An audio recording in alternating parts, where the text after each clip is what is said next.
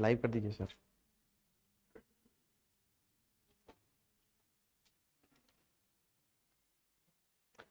नमस्कार, धारा जीएस में मैं पोखराज गिरी एक बार फिर से आप सभी का स्वागत करता हूँ। मैं आशा करता हूँ कि आप लोग बहुत ज़बरदस्त हो, शानदार हो, जिंदाबाद हो। ठीक है? तो फटाफट से उपस्थिति को दर्ज करा दीजिए, सेशन को शेयर कर दीजिए। Preeti ji, good morning. जय Hind, sir. Jeet good morning Kavita good morning Bhavika good morning फटाफट से सेशन को शेयर करो लाइक करो। और अगर सब्सक्राइब नहीं करे हो तो सब्सक्राइब भी कर लो। एक बहुत महत्वपूर्ण डिस्कशन अभी होने वाला है, ठीक है? और ये वो डिस्कशन नहीं है कि कल क्लास लूँगा करके। एग्ज़ाम रिलेटेड डिस्कशन है। तो फटाफट से जुड़ जाओ। जैसे ही बीस हो जाएँगे डिस्कशन को अपन स्टार्ट कर देंगे। तो जल्दी से बीस करवाओ कॉन्करेंट व्यूअर्स फटाफट से। जल्दी जल्दी। Satyaprakash good morning Prem good morning Shreya good morning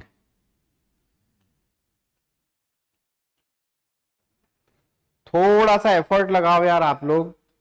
थोड़ा सा एफर्ट लगाओगे तो हो जाएगा। तुम लोग। Good morning sir good morning Sharma ji. Nirmala good morning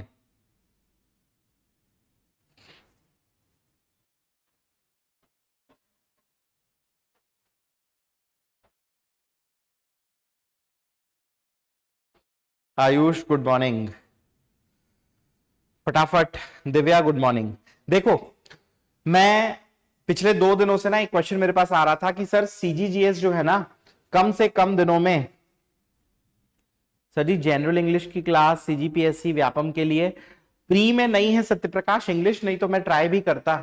pre में है नहीं इंग्लिश ठीक है? लेकिन ऐसा कोई एग्ज़ाम आया ना तो मैं ज़रूर कोशिश करूँगा करवाने की। बहरहाल, जो मैं आप लोग से बात कर रहा था देखिए, समय कम है। और कुछ लोगों का ये पूछना था कि एक्चुअली सर सीजीजीएस का सेक्शन को अपन कैसे कम समय में पढ़ ले या ऐसे कौन से सेक्शन है जिसमें से अच्छा खासा क्वेश्चन आने का चांस है। तो मैं यहाँ पर वो सेक्शन लिख देता हूँ, ठीक है?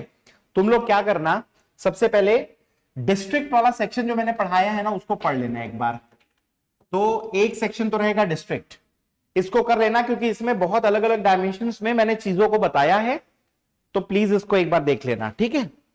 प्रीति गुड मॉर्निंग नेक्स्ट अगर ज्योग्राफी की बात करूँ ना तो ज्योग्राफी में फ़िज़िकल और इकोनॉमिक ये दो भाग ज्योग्राफी के अच्छे से करना। फ़िज़िकल और इकोनॉमिक का मतलब क्या हुआ? तो आप इसमें जनगणना छोड़ देना, शिक्षा छोड़ देना, बाकी ज्योग्राफी में से क्वेश्चन आता है। ठीक है? इसको ध्यान रखना। एमसीक्यू दिव्या कराऊँगा ना मंडे से तो है यार शाम को। मंडे से शाम को छह बजे एमसीक्यू भी तो है, कैसे कर रहे हो आप लोग? भूल गए हो क्या? जामवंत बनना पड़ेगा याद दिलाने के लिए हनुमान जी को। हिस्ट्री में एंशंट वाले सेक्शन से जो रीजनल डायनेस्टीज है क्षेत्रीय राजवंश इसको कर लेना। और इसके बाद कलचुरी से आगे पूरा लास्ट तक। ठीक है? तो ज्योग्राफी में फ़िज़िकल इकोनॉमिक कर लेना। एंशंट से हिस्ट्री में रीजनल डायनेस्टीज करना, फिर कल्चुरी से लेके पूरा लास्ट तक कर लेना। ठीक है? आर्ट एंड कल्चर में आओगे तो ध्यान रखना एक तो छत्तीसगढ़ और एक ट्राइबल। तो छत्तीसगढ़ में यहाँ पर जो गीत है, उसके अलावा नृत्य है, उसके अलावा जो फेस्टिवल। तो राज्य के लोकगीत, लोक नृत्य, लोक पर्व। और जनजाति परिवेश में भी सेम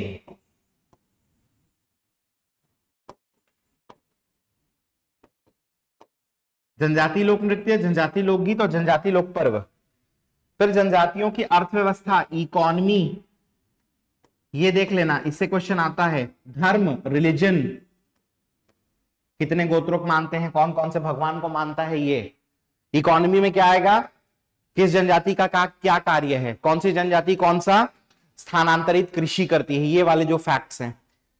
इतना कर लेना प्लस पर्यटन टूरिज़्म तो टूरिज़्म वाला जो सेक्शन है ना, वो मेरे डिस्ट्रिक्ट में खत्म हो जाएगा। और प्लस बस्तर दशहरा।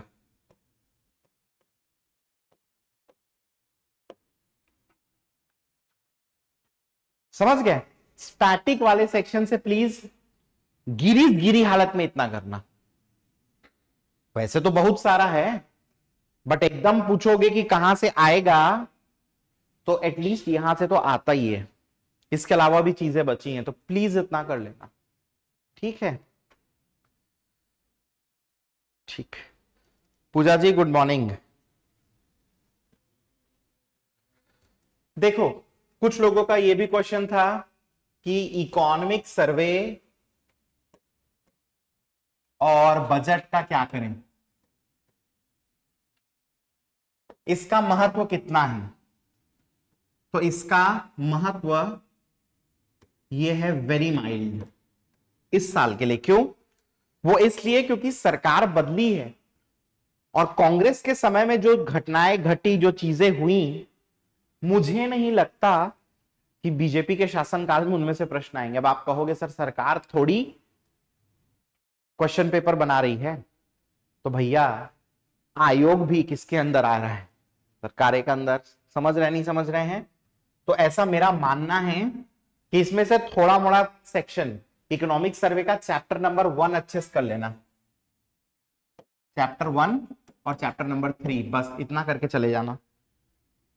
अगर मेरे पास समय बच गया पढ़ाते हुए तो मैं स्वयं इसको करा दूँगा।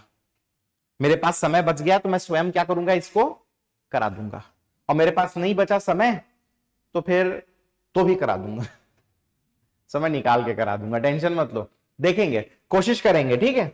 कोशिश करेंगे। यार, आप लोगों के लिए, आप लोग के लिए जान हाजिर है यार, तुम लोग बस दिक्कत यह है कि लाइक शेयर नहीं करते हो।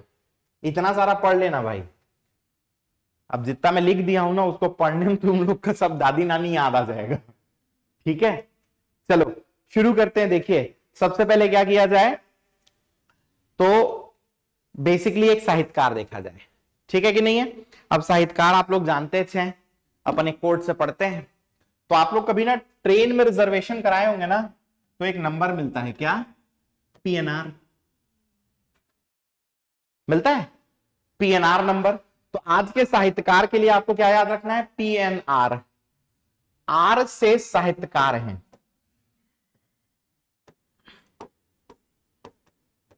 रमेश नैयर। समझ में आया? आर से साहित्यकार हैं, रमेश नैयर। पी और एन से इनकी रचना है। पी से याद रखना। पंच, रत्न, एन से याद रखना। नव, रत्न। आगे लगा देना। छत्तीसगढ़ के। आगे क्या लगा दोगे? छत्तीसगढ़ के। यहाँ भी लगा दो।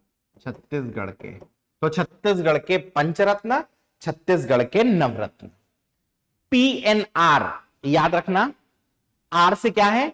रमेश नैयर, साहित्यकार पी और एन से। एक है पंचरत्न, दूसरा है नवरत्न। तो छत्तीसगढ़ के पंचरत्न, छत्तीसगढ़ के नवरत्न, ये बेसिकली क्या है? दो ठो इनकी रचनाएँ। ठीक? तो इतना याद रखना। अब इसके बाद क्या करते हैं? तो भाई, अपन अपना बस्तर संभाग पढ़ रहे हैं। एक बार इसके मैप को फिर से देखते हैं।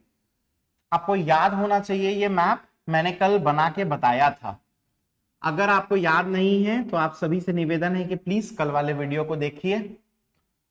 इस प्रकार से एक क्या था, छोटा सा वाटर सर्कल फिर बड़ा सा सेमी सर्कल फिर ये एक लाइन ये दो, और ये तीन। क्या क्या नाम थे डिस्ट्रिक्ट्स के? तो पहला था ये कांकेर फिर था ये कोंडा गाँव। फिर था बस्तर, फिर क्या था? नारायणपुर। ये बीजापुर। ये भैया दंतेवाड़ा है। और ये क्या है अपना? सुकमा। समझ गए? क्या किए थे कल? कांकेर कोंडागांव बस्तर। ये तीन डिस्ट्रिक्ट खत्म किए थे।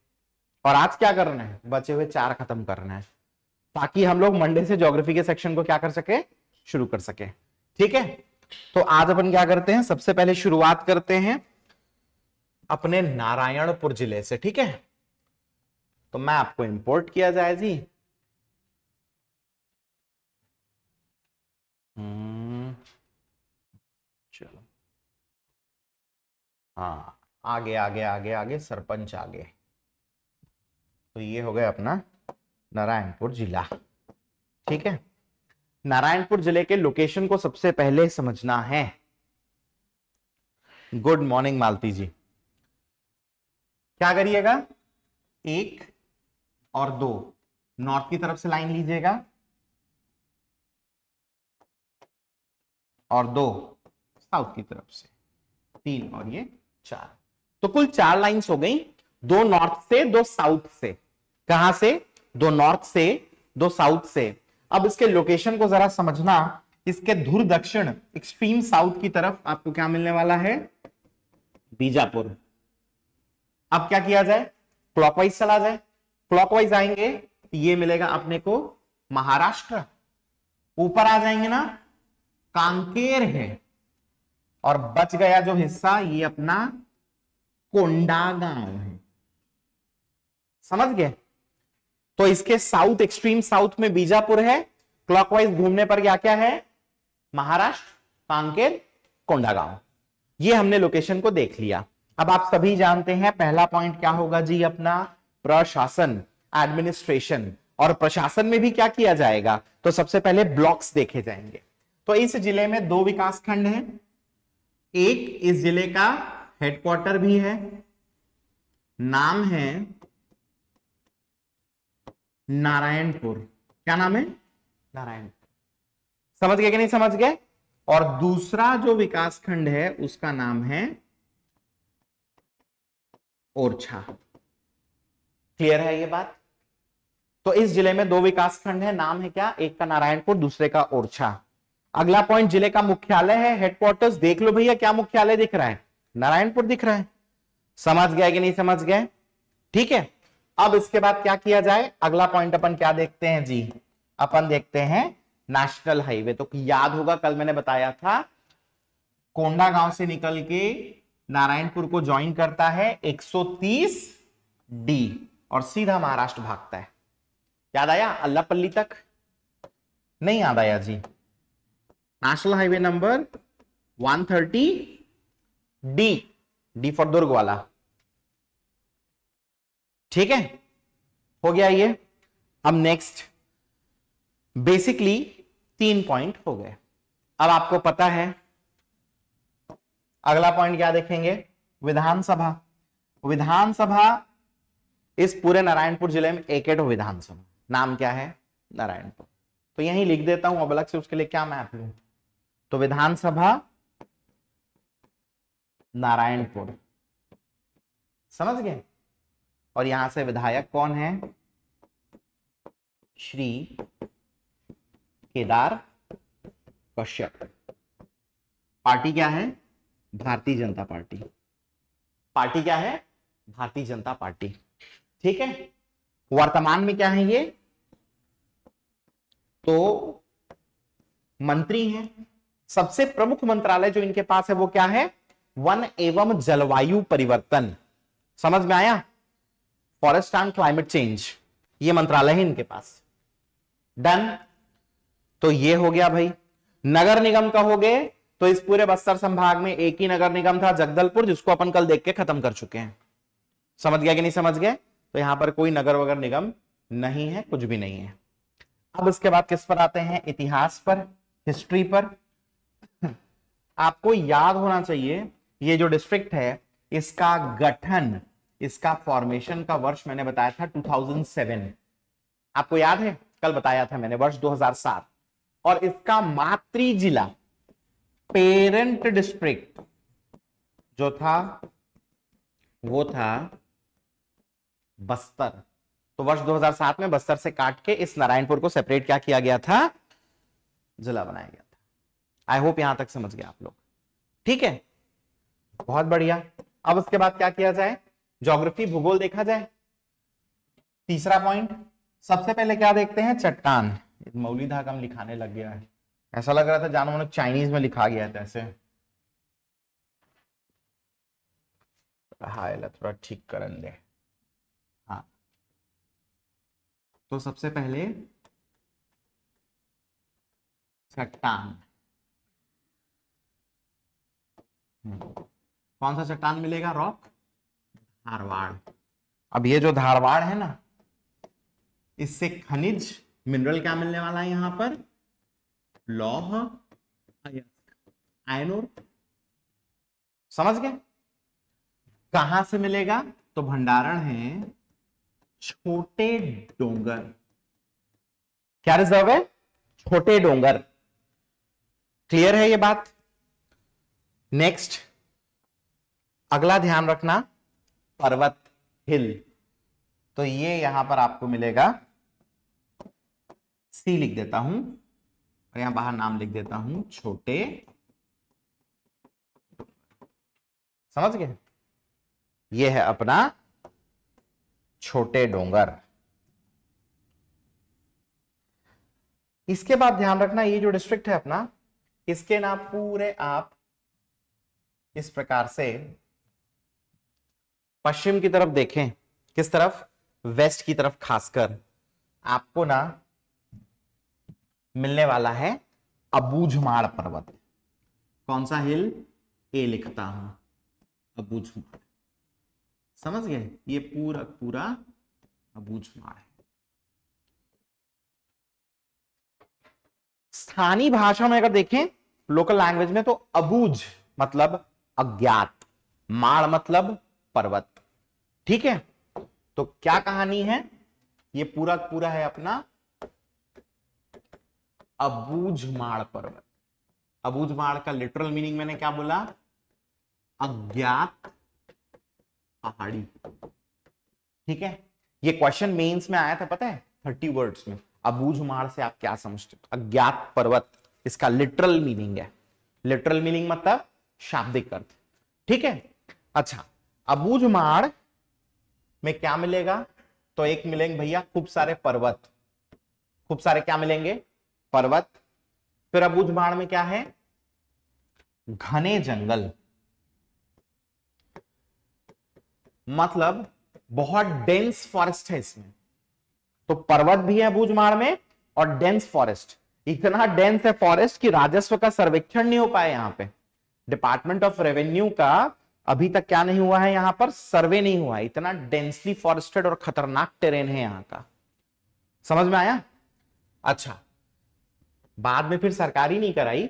बोली जनजाति रहती है तो फिर रहना ही दो, छोड़ो, हटाओ इसको करके। ऐसा मत सोचना, इतना खतरनाक है सरकार कर ही नहीं पाई। तो करना मुश्किल था, बाद में फिर सरकार ने खुद भी नहीं कराया। ये सच्चाई है। ठीक है? इसके बाद ध्यान रखना, ये जो अबूझमाड़ है ना, आज तक छत्तीसगढ़ में एक वर्ष में सर्वाधिक वर्षा, एक ईयर में मैक्सिमम रेनफॉल 187 सेंटीमीटर गया है।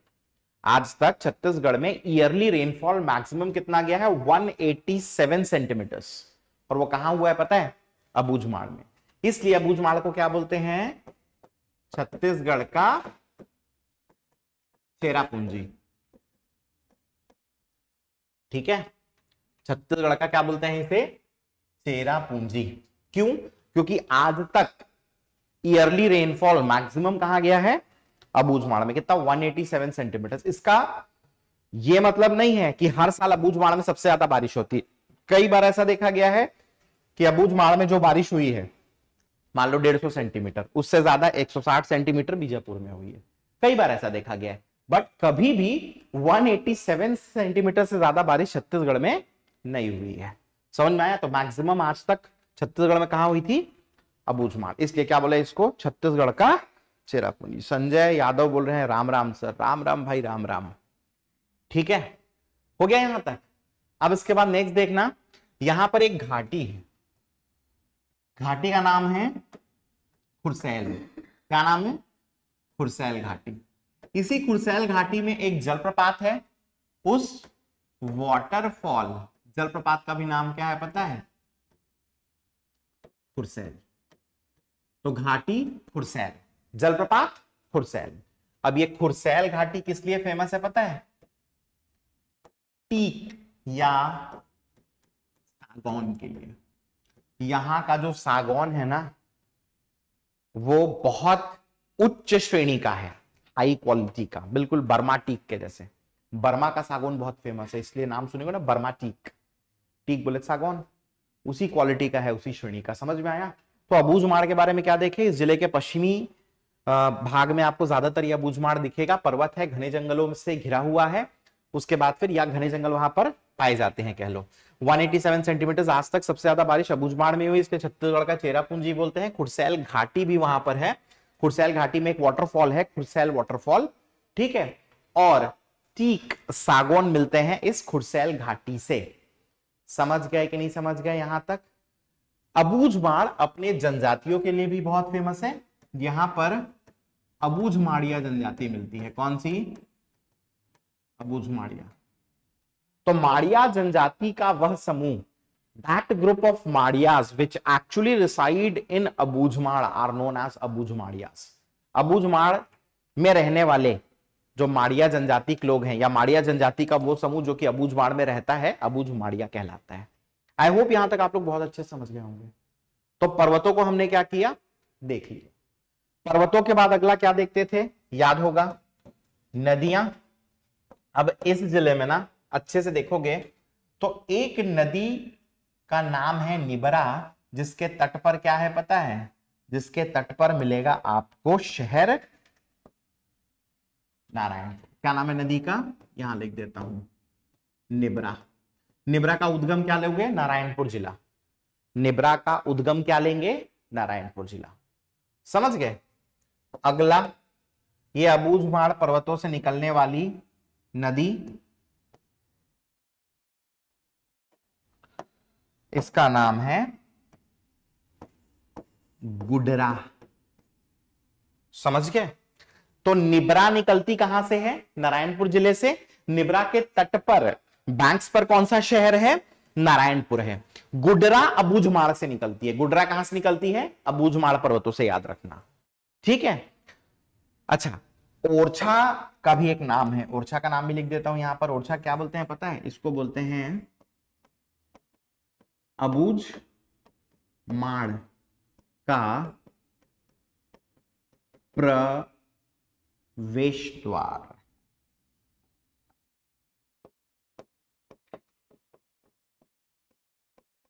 गेटवे टू अबूझमाड़ बोलते हैं इसको। क्या बोलते हैं?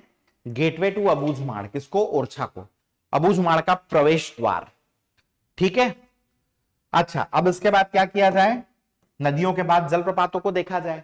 इस ज़िले में एकदम ये दक्षिण की तरफ़ जलप्रपात मिलेगा। हांदावाड़ा मिल्कुलवाड़ा। बहुत जगह पर हांदावाड़ा मिल्कुलवाड़ा को दंतेवाड़ा पढ़ोगे, बीजापुर पढ़ोगे, याद रखना नारायणपुर में है। समझ में आया कि नहीं आया? नहीं तो जाके किसकी बुक को देखना, डॉक्टर एल एन वर्मा की पुस्तक को देखना। हांदावाड़ा मिल्कुलवाड़ा जलप्रपात लिया गया है नारायणपुर डिस्ट्रिक्ट में। तो वाटरफॉल दो देख लियो, एक खांदावाड़ा, मिल्कुलवाड़ा, दूसरा खुरसैल। ठीक है? एक वाटरफॉल और है यहाँ पर, पता है? जिसका नाम है नोगोबागा। क्या नाम है? नोगोबागा। अब ये जो नोगोबागा जलप्रपात है ना बेसिकली इसका लोकेशन नहीं मिलता है। नोगोबागा का क्या नहीं मिलता है? लोकेशन नहीं मिलता है। तो जलप्रपात खत्म। क्या इस ज़िले में कोई महत्वपूर्ण परियोजना है? नहीं है। कोई इंपॉर्टेंट प्रोजेक्ट परियोजना इस ज़िले में नहीं है।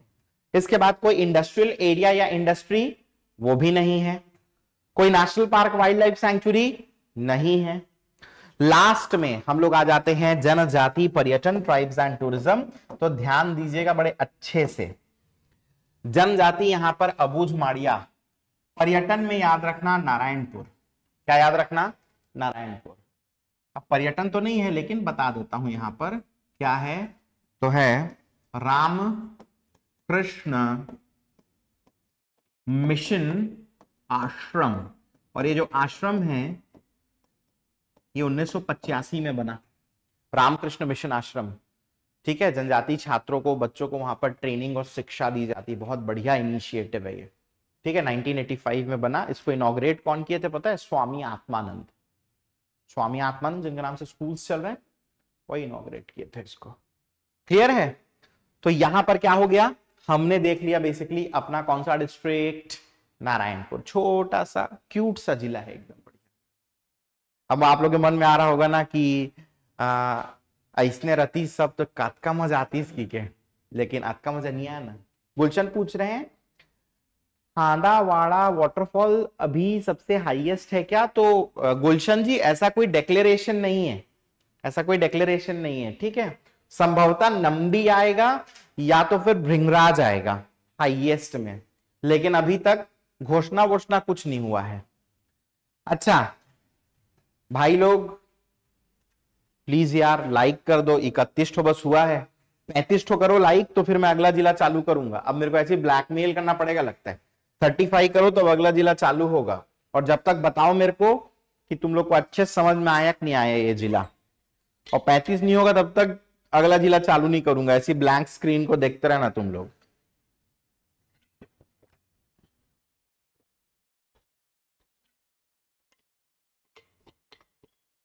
अच्छा जो लोग नए जुड़े हैं, कल 11 बजे, क्या करना है कल 11 बजे?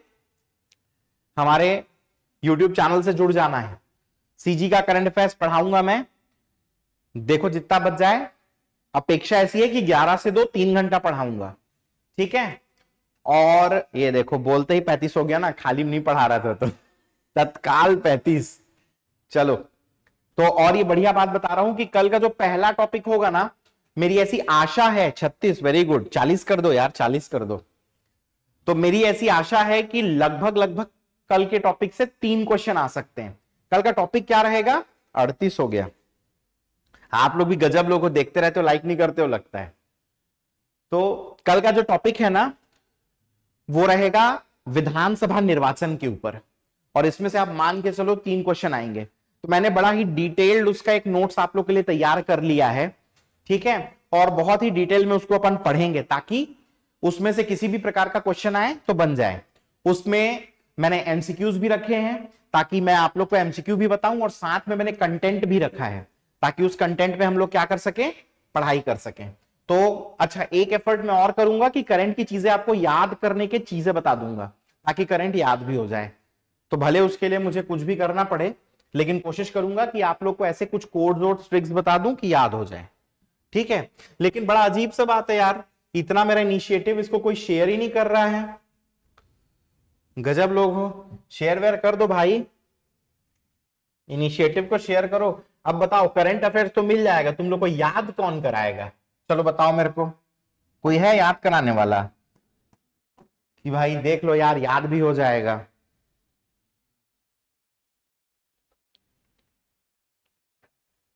ठीक है, ये देखो बेशर्मी से भावेश लिखे हैं आप। याद कराओगे आप? आपका ज़िम्मेदारी है। हम लोग थोड़ी करेंगे। चलो, अगला जिला है दंतेवाड़ा। अगला जिला कौन सा है? दंतेवाड़ा। अब दंतेवाड़ा में अच्छे से देखेंगे। सबसे पहले इसके पड़ोसियों को समझने के लिए क्या करना? एक, दो और ये तीन। तो इसको बीच में से काटो, ईस्ट की तरफ़ से दो, वेस्ट की तरफ़ से एक लाइन लेना। ईस्ट की तरफ़ से दो, वेस्ट की तरफ़ से क्या करना? एक लाइन लेना। अब अच्छे से ध्यान देना। पड़ोसियों को यहाँ लिखते हैं। तो ये अपना सुकमा है। ये वाला हिस्सा है क्या? बीजापुर। और ये जो जो बच गया छोटा सा, ये क्या है? बस्तर।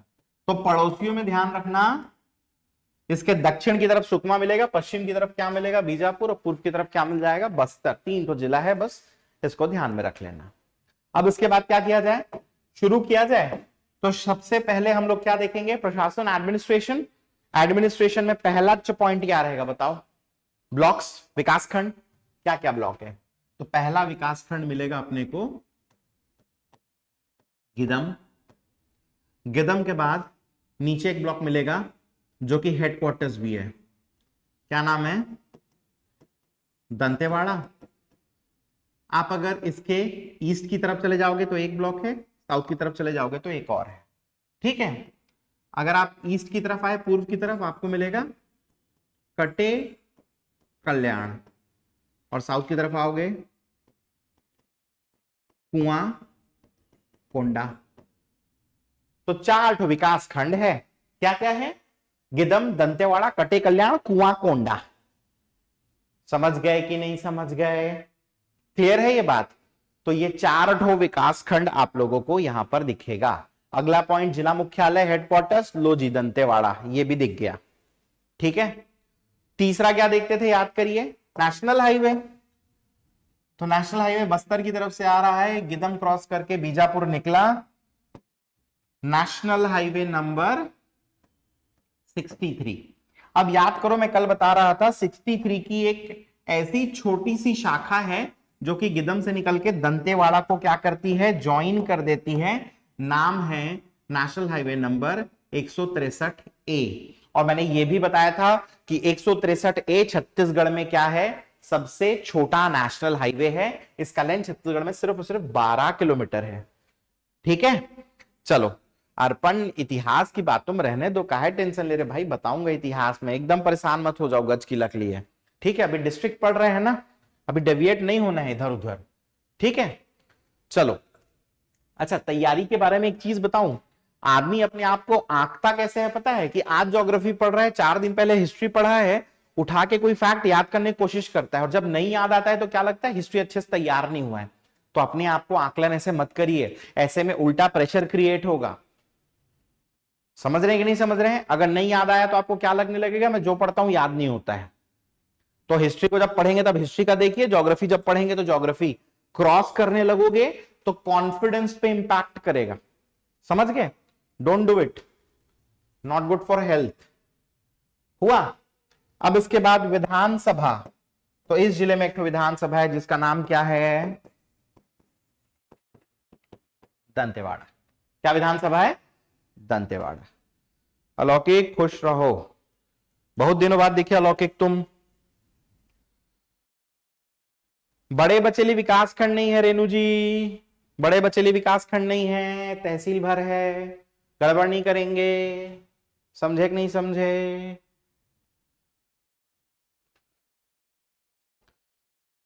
स्टडी प्लान ऋषित हम बता दिए, तुम आए नहीं थे। तुम्हारी किस्मत में नहीं था, जाक वीडियो देखना। ठीक है। अरे भाई, बयालीस ठो लाइक हुआ है, पैंतालीस ठो कर दो यार इसको। राउंड में रखा करो तो अच्छा रहता है, देखने में भी मेरे को अच्छा लगता है। चलो पैंतालीस तो कर दो फटाक से। हाँ। अब देखो नेक्स्ट हम लोग क्या देखते हैं विधानसभा के बाद? हम लोग देखते हैं भैया म्यूनिसिपल कॉरपोरेशन नगर निगम। इस ज़िले में ना कोई नगर निगम नहीं है। और इसी के साथ इस ज़िले का प्रशासन खत्म हो जाता है। अब इतिहास पे आते हैं। यहाँ मज़ा आएगा आप लोगों को। ज़िले का जो गठन हुआ है ना फॉर्मेशन वर्ष था इसका 1998 और कल मैंने बताया था, वर्ष था 2003 जब इस ज़िले का नाम बदला था। और नाम बदल के क्या हो गया था? तो नाम हो गया था दक्षिण बस्तर दंतेवाड़ा। ठीक है? Ravi ji good morning Ravi ji like करो तो नहीं करे हो तो फटाक से लाइक करो, चलो। तो गठन फॉर्मेशन 1998 में हुआ है। इसका मातृ जिला पेरेंट डिस्ट्रिक्ट तो मातृ जिला जो है ना, वो क्या था पता है? वो था बस्तर। वो क्या था? बस्तर। चवालीस हो गया, एक ठो और कर दो भाई, पैतालीस हो जाएगा। वही जिला खत्म होते तक इसको पचास करवा दो तुम लोग। ठीक है, तुम लोग भी बोलोगे, कैसे सर ब्लैकमेल करते हो? तो भाई फोकट का चीज़ मांग रहा हूँ लाइक पैसा कौड़ी तो ले नहीं रहा हूँ। समझ रहे हैं? और जब तक आप लोग हमको सपोर्ट नहीं करोगे तो हम लोग में मोटिवेशन कैसे आएगा? और मैं बोलता हूँ ना मोटिवेशन नहीं आएगा तो हम लोग पतली वेसन हो जाएँगे। तो हम लोग को मोटिवेशन चाहिए ताकि हमारी टीम मेहनत करे। अब कल तुम लोग चाहते हो कि मैं तीन चार घंटा तुम लोग को करंट अफेयर्स रटवाऊं, याद करवाऊं तो मोटिवेशन चाहिए ना भाई? फिर, चलो। अब देखना, यहाँ पर ना इस ज़िले में एक बहुत शानदार पुरातात्विक स्थल है। क्या करना है इसको? बिल्कुल इस ज़िले के ऊपर ले जाना। नाम है इसका बारसूर। बारसूर के बारे में बढ़िया बात बताता हूँ कि बारसूर को अभी अभी तहसील भी घोषित किया गया है। बारसूर को अभी अभी क्या घोषित किया गया है? तहसील भी घोषित किया गया है। सिर्फ़ याद रखना है, लिख मत लेना। समझ गए ना? अब बारसूर के बारे में यहाँ लिखता हूँ। आप लोग अच्छे से देखना। बारसूर सबसे पहले इंद्रावती नदी के तट पर है। कौन सी नदी के तट पर? इंद्रावती नदी। इस नदी के बैंक्स पे है, तट पर है। कौन सा? बारसूर। बारसूर को बस्तर क्षेत्र में क्या कहा गया है पता है? कहा गया है मंदिरों और तालाबों की नगरी। City of temples and ponds क्या कहा गया है? मंदिरों और तालाबों की नगरी city of temples and ponds कहा गया है। किसको कहा गया है? बारसूर। क्यों कहा गया है पता है? क्योंकि प्राचीन काल में बारसूर से एक सौ मंदिरों और तालाबों के अवशेष प्राप्त हुए हैं। समझे? रिमेन्स मिले हैं मंदिरों और तालाबों के। कितने? 147 इसलिए कहा गया इसे मंदिरों और तालाबों की नगरी। मैंने आप लोग को बताया भी था, ये क्वेश्चन आया है व्यापम में तीन साल पहले। ठीक है? अच्छा यहाँ पर फ़ेमस मंदिरों में कहोगे तो एक है बत्तीसा मंदिर। बत्तीसा मंदिर भगवान शिव का टेंपल है, भगवान शिव का मंदिर है। नाम बत्तीसा क्यों है पता है? क्योंकि मंदिर मंदिर का जो मंडप है ना, मंडप समझते हैं ऊपर का हिस्सा, ऐसा। ये मंडप ना बत्तीस पिलर्स पर खड़ा है ऐसे। कितने पिलर्स पर? बत्तीस। तो बत्तीस पिलर्स पर खड़ा है इसलिए बत्तीसा। समझ गया कि नहीं समझ गए? उसके बाद अगला एक और बहुत फ़ेमस मंदिर है यहाँ पर। नाम है क्या पता है? मामा भांजा मंदिर। कौन सा मंदिर है? मामा भांजा। मामा भांजा टेंपल मामा भांजा मंदिर। समझ में आए तो इतिहास में इतना याद रखना। क्लियर है? इतिहास में कितना याद रखोगे? तो गठन मात्र जिला और बारसूर। बारसूर को लोकेट भी कर दिए। अब किस पर आ जाए? ज्योग्राफी भूगोल। यहाँ पर हमें जो चट्टान मिलेगा, उसका नाम है धारवाड़। कौन सा रॉक मिलने वाला है? धारवाड़। धारवाड़ से खनिज मिलेगा हमें, कौन सा पता है? लौह अयस्क। अंग्रेज़ी में आयन। हो कहाँ से मिलेगा? भंडारण है बैला डीला। बैला ढीला मत कर देना, ढीला जाएँगे बैला लोग। बैला डीला बैला डीला बैला डीला हिल्स यहाँ से आयन और मिलता है। समझ गए आप सभी? हाँ कि ना? अच्छा इस ज़िले में हमें एक और खनिज दिखता है, पता है, जिसका नाम है टिन। टिन के बारे में ध्यान रखना। अगर भंडारण बोले तो छत्तीसगढ़ सेकंड है। उत्पादन बोले तो छत्तीसगढ़ फ़र्स्ट है। टिन भंडारण रिज़र्व में छत्तीसगढ़ सेकंड है, उत्पादन प्रोडक्शन में फ़र्स्ट है। पीएससी में क्वेश्चन आया था तीन साल पहले प्री में, कि निम्न में से किस खनिज में छत्तीसगढ़ भंडारण में प्रथम है? भंडारण में प्रथम पूछा था और आंसर टिन ले लिया था। गलत है। अगर मेरी बात पर आपको विश्वास नहीं है तो आप क्या करना? आप डिपार्टमेंट ऑफ़ माइंस के द्वारा मिनरल ईयर बुक रिलीज़ किया जाता है भारत का। समझ में आया? इंडियन मिनरल ईयर बुक बोलते हैं उसको। ठीक है? चले जाना उस पर उसमें इंडिविजुअल खनिजों के बारे में अलग अलग से पीडीएफ रहता है। उसमें टिन का डाउनलोड करना और उसमें देख लेना। और इतना समय नहीं है तो मेरी बात तो विश्वास कर लो। अब कॉमन सेंस है। जब मैं बता रहा हूँ तो मैं पढ़ाऊँगा नहीं पढ़ाऊँगा फोकट में थोड़ी अपने मन से गप मार दूँगा, कुछ भी तुम लोग के जैसे। फलाना बुक में देख लेना ढेकाना बुक में देख लेना कोच कोच को मर गया आदमी बुके ही मिल रहा है। तो ऐसा काम नहीं है भाई, अपना समझ में आया कि नहीं आया है? ठीक है? चलिए। अच्छा तो ये जो टिन है ना, इसका भंडारण इस दंतेवाड़ा जिला में मिलता है। अब ये दंतेवाड़ा जिला में कहाँ कहाँ से मिलता है? तो कट्टे, कल्याण, बचेली, नरेली और पाड़ापुर। कटे कल्याण, बचेली, नरेली, पाड़ापुर, यहाँ से मिल जाता है टिन। तो टिन का भंडारण है। ठीक है? छियालीस सौ लाइक हो गया है जी, पचास तो करवा दो। ज्योग्राफी खत्म होते तक इस ज़िले के पचास सौ लाइक हो जाएगा ना तो मेरे को एकदम मज़ा आ जाएगा, अंतरात्मा खुशी हो जाएगा मेरे ठीक है? हो गया? चलिए, अब इसके बाद पर्वतों पर आते हैं। इसको बड़े अच्छे से देखिएगा। ये जो जिला है ना, इस ज़िले में बिल्कुल पश्चिम वेस्ट की तरफ़ आपको इस प्रकार से पर्वत दिखेंगे। अब ये जो पर्वत है, नाम लिख देता हूँ बी बी बी और ये बी पर्वतों का नाम है बेला डीला पर्वत। कौन से पर्वत? बेला डीला। समझ गया कि नहीं समझ गए? अब ये जो बेला डीला पर्वत है ना, इसमें कुछ चीज़ों को यहाँ लिख रहा हूँ, अच्छे से देखना। एक है इसकी ऊँची चोटी हाईएस्ट पीक नाम है नंदीराज और हाइट है 12-10 मीटर। तो बेलाडेरा हिल्स की ऊँची चोटी, क्या नाम है? नंदीराज हाइट है 12-10 मीटर। आपको याद होगा, जब मैं आप लोग को सेकंड वीडियो में पढ़ा रहा था तो गौर लाटा बताया था।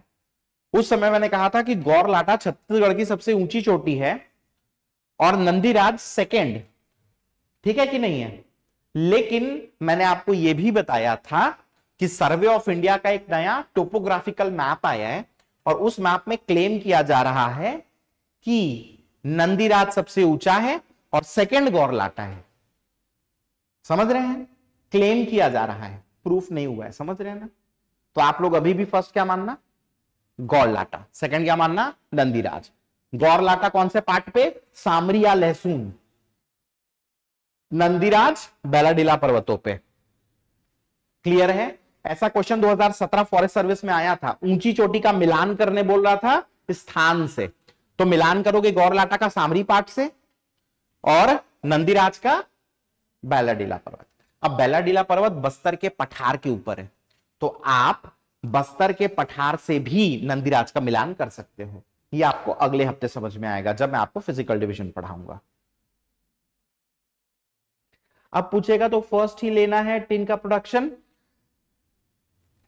सरोज जी, मैं नहीं ले पाऊँगा इसे। पता है क्यों? क्योंकि मैं अपने आँख से पढ़ाऊं यार उसमें। तो मैं तो क्या लूँगा? प्रोडक्शन में फ़र्स्ट और रिज़र्व में सेकंड प्रोडक्शन में फ़र्स्ट रिज़र्व में सेकंड अच्छा प्रोडक्शन की बात मैं आपको बढ़िया से बताऊँ। तीन का हंड्रेड परसेंट प्रोडक्शन सिर्फ़ छत्तीसगढ़ में है।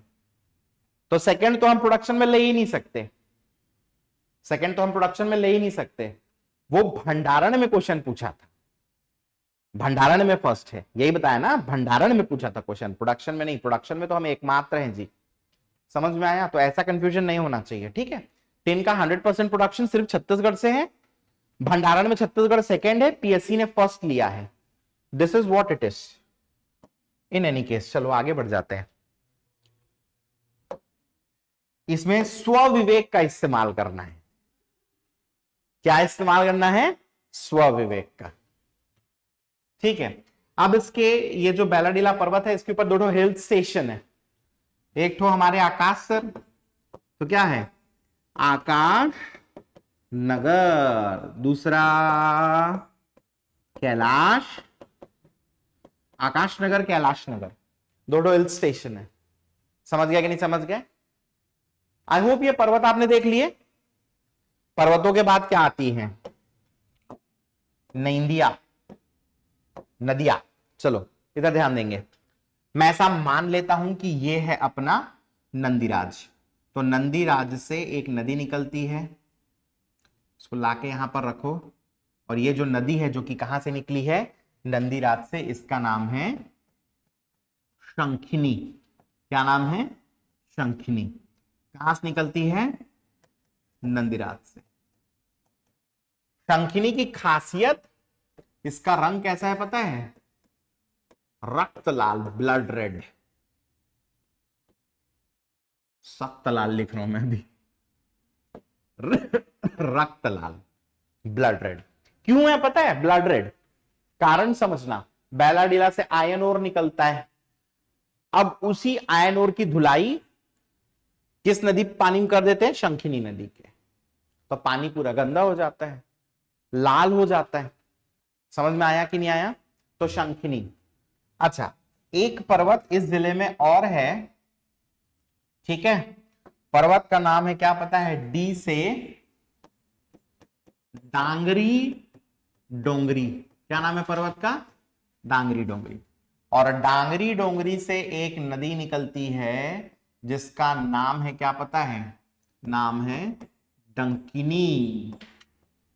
समझ गए? शंखिनी और डंकिनी, शंखिनी को पूरी लाइन में बनाया और डंकिनी को डैश डैश में। इन दोनों नदियों का संगम होता है दंतेवाड़ा। और उसके बाद जो नदी बनकर चली, वो है आपकी शंखिनी डंकिनी। तो इसमें एस प्लस डी लिख देता हूँ। इसको डबल एरोज बना रहा हूँ, ठीक है? S plus D Shankhini, Dankini. तो शंखिनी आई, डंकिनी आई, दोनों मिली दंतेवाड़ा। समझ में आया? फिर एक नदी चली शंखिनी डंकिनी। नेक्स्ट अगर आपको ध्यान हो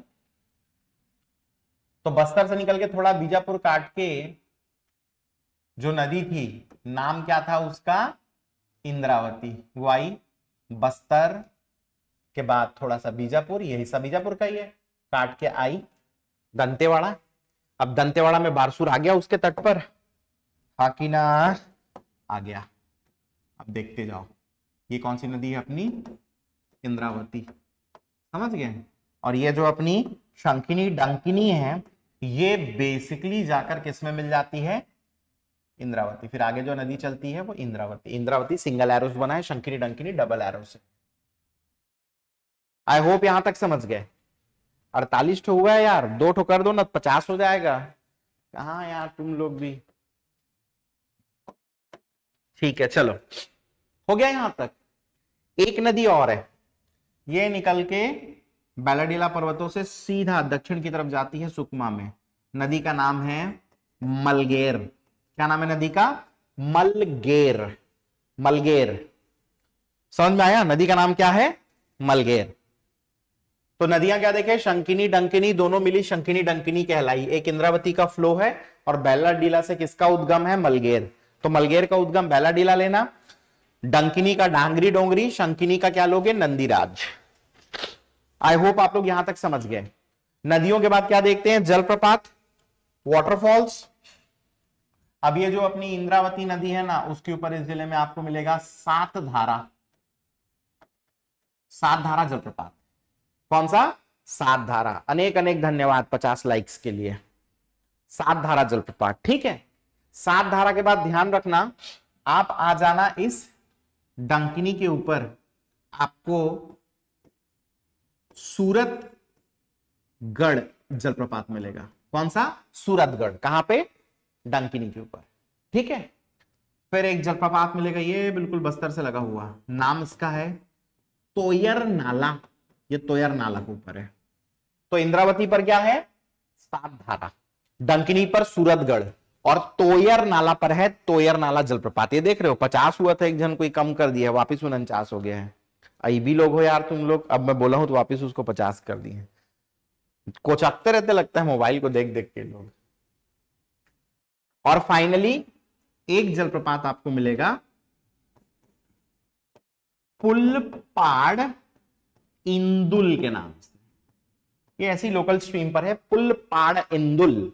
बावन वेरी गुड वेरी गुड बावन ठो हो गया लाइक जलप्रपात नहीं है, बावन ठो ना लाइक है. हड़बड़ा जाओगे तो तब बावन ठो जलप्रपात है, मर जब आज की के तो क्या क्या वाटरफॉल है? इंद्रावती पर सात धारा है, डंकिनी पर सूरतगढ़ है, फिर बस्तर से लगा हुआ तोयर नाला है, फिर पुलपाड़ इंदुल फॉल्स है. लोकल स्ट्रीम पर है ये. अब इसके बाद परियोजना कहोगे तो परियोजना यहाँ पर एक तो प्रस्तावित है. क्या नाम है भैया इस ज़िले में प्रस्तावित परियोजना का? तो परियोजना पर लाइट पिंक कलर से लिखते हैं ना। क्या लड़की लोग बोलते हैं क्या बेबी पिंक वॉट तो बोध घाट ये प्रस्तावित है। ये परियोजना क्या है? प्रस्तावित। आज से नहीं 1970 से प्रस्तावित है। आज से नहीं 1970s के समय से परियोजना प्रस्तावित है। अब नेक्स्ट क्या है? तो नेक्स्ट इस ज़िले में इंडस्ट्रियल एरिया और इंडस्ट्री तो दंतेवाड़ा जिला में एक इंडस्ट्रियल एरिया है जिसका नाम क्या है? टेकनार। कौन सा इंडस्ट्रियल एरिया है? टेकनार। कोई बहुत महत्वपूर्ण इंडस्ट्री तो तो डैनिक्स करके एक तो कपड़े का ब्रांड है। Danex Dantewada next Dantewada next अभी इन लोग का नया एक तो पांचवा प्लांट खुला है। जहाँ से कपड़ा एक्सपोर्ट होगा यूरोप में। समझे? वही यूरोप यूरोप। हाँ वही। और यूएस में। डैनेक्स ठीक है? तो industrial area Tekanar industry Danex याद रखना। National park wildlife sanctuary इस ज़िले में नहीं है जी। इस ज़िले में नहीं है। लास्ट क्या है? लास्ट है जनजाति पर्यटन ट्राइब्स एंड टूरिज़्म तो जनजाति कौन सी मिलती है यहाँ पर? मुड़िया, माड़िया, ये लोग मिल जाएँगे। मुड़िया, माड़िया। जनजातियों में मिल जाएँगे कौन? मुड़िया और माड़िया। ठीक है कि नहीं है? ठीक। अब इसके बाद क्या किया जाए? पर्यटन टूरिज़्म दंतेवाड़ा। बताने की ज़रूरत है किनका मंदिर है? माँ दंतेश्वरी इनका मंदिर है। एक बढ़िया सी कहानी बताता हूँ। बस्तर का नाम बस्तर कैसे पढ़ा करके, ठीक है? पल्लवी गुड मॉर्निंग असल में क्या है? एक शासक थे, काकती वंश के नाम था उनका अन्नम देव क्या नाम था? अन्नम देव अन्नम देव को ऐसा कहते हैं कि माता दंतेश्वरी का वरदान था कि जहाँ तक तुम चलोगे, मैं पीछे पीछे चलूँगी। और जहाँ तक तुम चले गए, बिना पलटे, वो क्षेत्र तुम्हारा होगा। मतलब तुम्हें आगे चलना है, पलट के नहीं देखना है। वहाँ तक का क्षेत्र क्या होगा? तुम्हारा। तो ऐसा कहते हैं कि अन्नम देव चल रहे थे और पीछे ना पायल की आवाज़ आ रही थी। छन छन तो उनको लग रहा था कि हम माता आ रही है करके। और उसके बाद अन्नम देव चलते चलते आगे बढ़े। बीच में एक नदी आई और अन्नम देव ने नदी क्रॉस की और नदी में क्या हुआ? पायल का आवाज़ नहीं आया। तो अन्नम देव सोचे, माता नहीं आ रही, पलट के देख दिए। और जहाँ पलट के देखे तो माता ने अपने आंचल को ऐसा फैलाया और जितने क्षेत्र में उनका वस्त्र आया वही क्षेत्र बस्तर कहलाता है। ऐसा नामकरण है कहानी है और आप लोगों को पता होना चाहिए कोई कहानी मैं नहीं बनाता हूँ ना। तो कहानी बनाने का कोई शौक नहीं है। मैं तो इतिहास बनाना चाहता हूँ। कहानी मैं सिर्फ़ सुनाता हूँ। Pallavi good morning. Tanya good morning. अगर पल्लवी और तान्या आप दोनों ने लाइक नहीं किया सेशन को प्लीज़ कर लो। सर इकोनॉमी का भी क्लास कर, स्टार्ट करेंगे क्या? इकोनॉमिक सर्वे का सेक्शन ज़रूर कवर करा देंगे। लेकिन भारत की अर्थव्यवस्था इंडियन इकोनॉमी ये नहीं होगा। ठीक है? उसके लिए समय नहीं है। तो आप दोनों अगर लाइक नहीं किए हो तो कर दो तो बावन और दो चौवन हो जाएगा। गिन गिन के ना ऐसे बटोर बटोर के सकेल रहा हूँ मैं, ऐसे एक एक करके एक एक करके। चलो ठीक है। अब इसके बाद देखना आप ना दंतेवाड़ा, ये जो है ना, इसके बिल्कुल कहाँ तक आ जाओ? पश्चिम की तरफ़। आपको मिलेगा ढोलकल। अब ये जो ढोलकल है ना, यहाँ पर गणेश जी की मूर्ति रखी एक छोटा सा पर्वत है, ढोलकल पर्वत उसके ऊपर। इसको आप लोग ज़रूर देखे होंगे, शायद याद ना हो।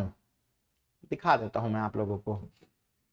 फेसबुक वेसबुक तो आप सभी चलाते छो पक्का देखे होंगे।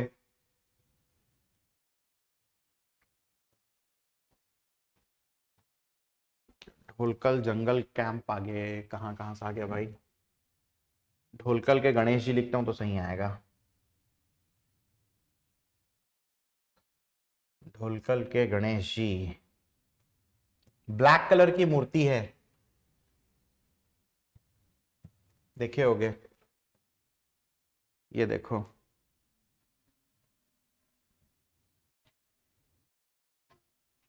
पक्का आप लोग को ध्यान होगा, इसको देख लिए आप लोग।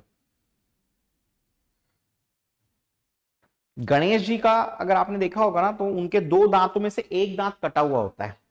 और ये जो एक दांत कटा है ना, इसके पीछे बहुत सारी कहानी है, एक ऐसी कहानी है कि महाभारत लिखने के लिए उन्होंने काटा था।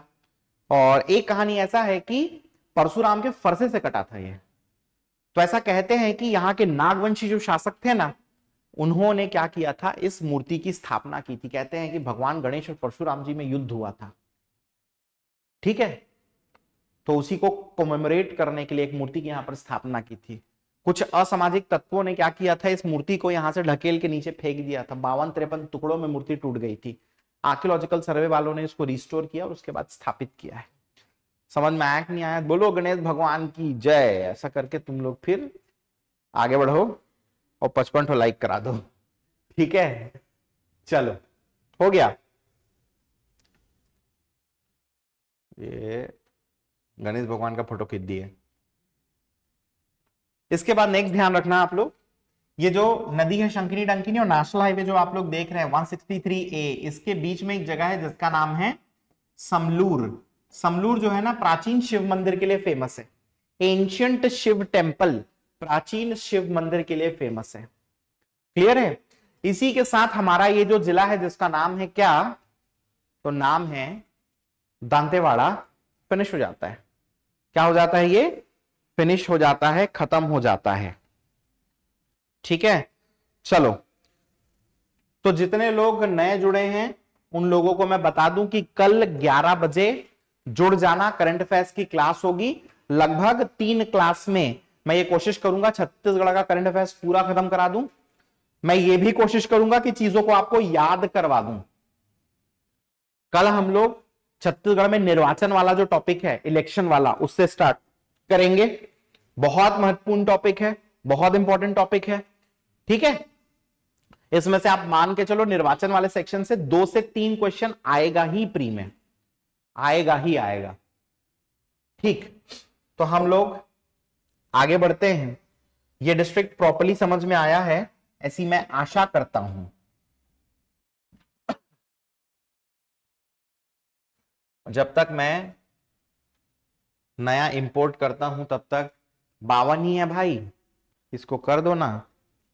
Bhavna good morning Bhavna like नहीं किया तो लाइक करो तो बावन है अभी भी। पचपन करना है इसको। पचपन करो लाइक तब मैं अगला जिला पढ़ाऊँगा जी। अगला जिला कौन सा है वैसे? बीजापुर पढ़ाऊँगा। पचपन करा दो यार। वहाँ दे। बोला हूँ तो कम कर दिए। इक्यावन हो गया। गया। ए दई गए लगते अब नहीं हो सके। और कोई पता है? हाँ वापिस से बावन हुआ है वो। वापिस से बावन हुआ है। कोई एग्ज़ाम बदमाश आदमी कम किया है ना तो किसी दूसरे छात्र ने उसको बढ़ाया है कि नहीं नहीं, सर का दिल टूट जाएगा। अपन क्या करते हैं इसको? बावन कर देते हैं करके। त्रेपन हो गया है। ठीक। पानी पियन दो।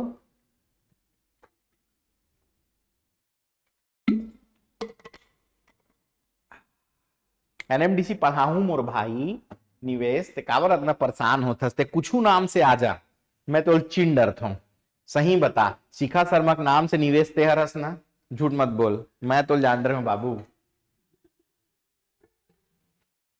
समझ में आया कि नहीं आया। मंगल, ठीक। त्रेपन हुआ था, फिर बावन हो गया। कुछ ऐसे लोग हैं जो लोग गलती से लाइक कर देते हैं, फिर उन लोग को थोड़ी देर बाद मज़ा आना बंद हो जाता है तो डिसलाइक करके भाग जाते हैं। डिसलाइक नहीं अनलाइक करके लाइक को वापस हो जाना। चलो, ठीक है। बीजापुर है। अब क्या किया जाए? तो बीजापुर जो है ना, इस डिस्ट्रिक्ट के लोकेशन को समझा जाए। ठीक है भाई?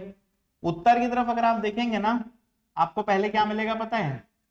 तो आपको मिलेगा नारायणपुर, उसके बाद मिलेगा आपको कोंडागांव, उसके बाद मिलेगा क्या? बस्तर। तो आपको नॉर्थ की तरफ़ कितनी लाइन बनानी है? चार। नॉर्थ की तरफ़ चार लाइन बनाओगे, तीन डिस्ट्रिक्ट मिलेगा।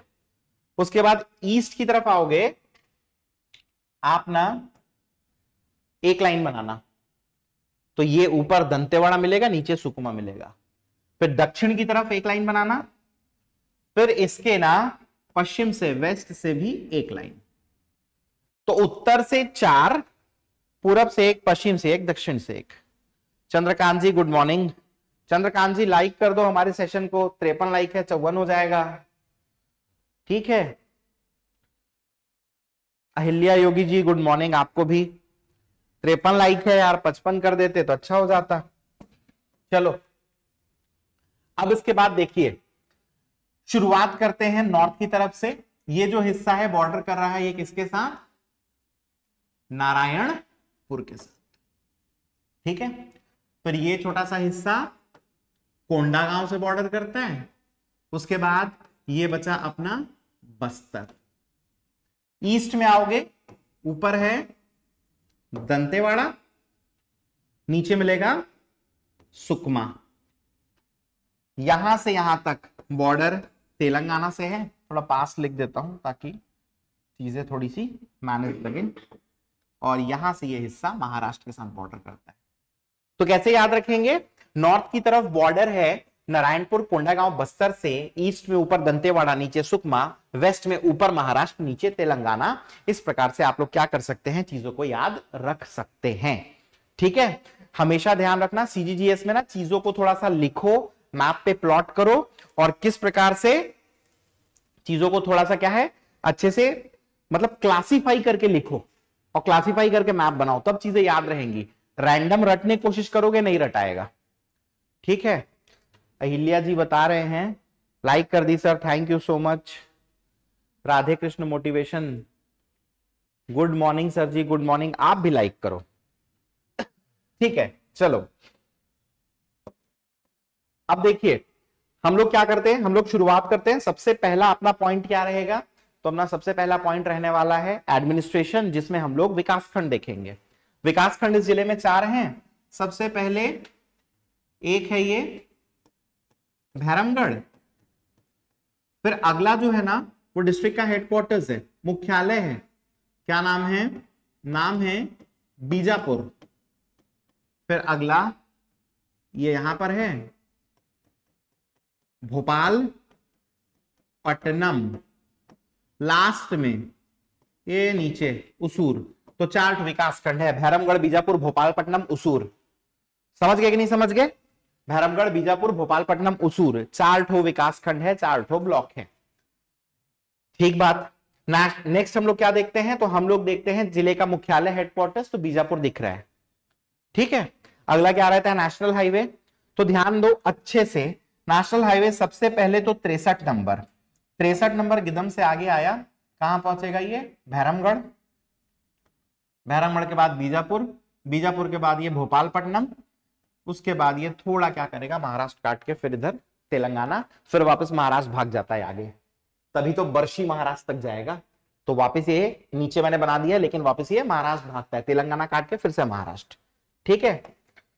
नाम है इसका नेशनल हाईवे नंबर वॉट 63 अब मैंने आपको कल बताया था कि एक नेशनल हाईवे है। पहले यहाँ पर जगह का नाम लिख देता हूँ। नाम है भद्रकाली। मैंने बताया था एक नेशनल हाईवे है। नेशनल हाईवे नंबर एक ये नेशनल हाईवे नंबर एक सौ तिरसठ वन सिक्सटी थ्री शाखा है। किसकी? 63 की, जो कि निकलती भोपालपट्टनम से है। और भोपालपट्टनम से जाती है, मैंने बताया था, कोदंगल, तेलंगाना तक। छत्तीसगढ़ में लंबाई 36 किलोमीटर है। तो छत्तीसगढ़ में ये भद्रकाली होते हुए जाती है। छत्तीसगढ़ में क्या होते हुए जाती है? भद्रकाली। समझ गए? तो 63 जो एंटर करी थी छत्तीसगढ़ में जगदलपुर से एक्चुअली भोपालपट्टनम से बाहर निकल रही है। और भोपालपट्टनम से 63 का अगला ब्रांच निकला है 163 जो कि क्या कर रहा है, भद्रकाली होते हुए तेलंगाना के कोदंगल तक जा रहा है। छत्तीसगढ़ में लंबाई तो ये 63 को पलट देना लास्ट के 36 किलोमीटर। 163 की लंबाई छत्तीसगढ़ में कितनी है? 36 36 किलोमीटर आई होप आप लोग यहाँ तक समझ गए। ठीक है तो ये हो गया अपना। अब अच्छे से देखिएगा जरा। नेशनल हाईवे के बाद अगला जो पॉइंट अपन देखते हैं, वो क्या रहता है ज़िले में? विधानसभा। विधानसभा इस ज़िले में एक ही है। क्या नाम है? बिजफौर। समझ में आया? अंग्रेज़ी भी पढ़ाता हूँ नहीं यार मैं, इंग्लिश मीडियम वाले स्टूडेंट्स को। बिजफौर। ठीक है? ठीक है भाई। इसके बाद नगर निगम। इस ज़िले में कोई नगर निगम नहीं है। इतिहास पर आ जाइए इस ज़िले के। इतिहास में सबसे पहले ज़िले का गठन फॉर्मेशन वर्ष क्या था? वर्ष था 2007 2007 और इसका मातृ जिला, इसका पेरेंट डिस्ट्रिक्ट क्या है? तो इसका पेरेंट डिस्ट्रिक्ट बेसिकली लिख देता हूँ, मातृ जिला दंतेवाड़ा। कौन सा वाड़ा? मातृ जिला पेरेंट डिस्ट्रिक्ट इसका दंतेवाड़ा है। मातृ जिला क्या है इसका? दंतेवाड़ा। अब इतिहास में कहोगे तो एज सच कोई बहुत इंपॉर्टेंट लोकेशन यहाँ पर ऐसा नहीं मिलेगा जिसको जिला में पढ़ा जाए। बाकी जब इतिहास का सेक्शन पढ़ेंगे तो पचासों चीज़ आएगा जी, क्या दिक्कत है उसमें? समझ गए आप लोग हाँ की ना? डन तो यहाँ पर इतिहास वाला सेक्शन खत्म। अच्छा अब ध्यान रखना ज्योग्राफी भूगोल। तो सबसे पहला है चट्टान, पहला पॉइंट यहाँ पर जो चट्टान मिलता है ना, वो है आर्कियन। आर्कियन विश्व का प्राचीनतम चट्टान। समझ में आया? आग्नेय है ये। इग्नियस टाइप का रॉक है। मतलब गर्म लावा के शीतल होने से इसका निर्माण हुआ है। तो विश्व में पहली बार जब चट्टान बना था, वो आर्कियन चट्टान था। समझ में आया? क्लियर है? नेक्स्ट ध्यान आप लोग को ये रखना है। इसके अलावा इस बीजापुर ज़िले में अगला चट्टान भी है, जो कि थोड़ा सा मिलता है, वो है दक्कन ट्रैप। दक्कन ट्रैप, ये भी इग्नियस नेचर का ही रॉक है। ठीक है? साढ़े तेरह से सात करोड़ वर्ष पूर्व बना था। इसमें से खनिज क्या मिलता है डेकन ट्रैप से?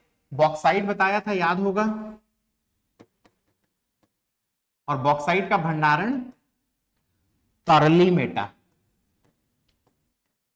कुछ लोग बोलते हैं, सर, तरली मेटा तो दंतेवाड़ा में है, आप बीजापुर क्यों पढ़ा रहे हो? तो भाई, मेरे कोई शौक नहीं इसको बीजापुर पढ़ाने का, लेकिन जो मिनरल्स का डिपार्टमेंट है, उसका मिनरल का डिस्ट्रिक्ट वाइज रिपोर्ट आता है। उसमें बीजापुर में दिया है। बीजापुर पढ़ा रहा हूँ जी। दंतेवाड़ा में लिखा होता तो मैं दंतेवाड़ा पढ़ा देता। तो जैसा रिपोर्ट में आएगा, वैसा मैं पढ़ा पाऊँगा। क्या है, अभी मैं खुद से रिसर्च नहीं कर पाया हूँ ना। ठीक है, इतना ज्ञानी पुरुष, ज्ञानी मानुष नहीं हूँ मैं कि खुद से रिसर्च कर लूँ। तो जो सरकारी डेटा रहता है, उसको मैं पढ़ा देता हूँ। बाकी अपने कोई टेंशन है नहीं। ठीक है? पर्वत हिल। ठीक है भाई। एक, फिर ये दो और ये तीन। तीन ठो पर्वत मिलेगा जी। क्या क्या है नाम? पर्पल से ही लिखता हूँ। एक यू फिर एक ए और एक जी तो यू जो है ना, इस पर्वत का नाम है उसूर पर्वत। ए से है अलबका और जी से है गोवर्धन।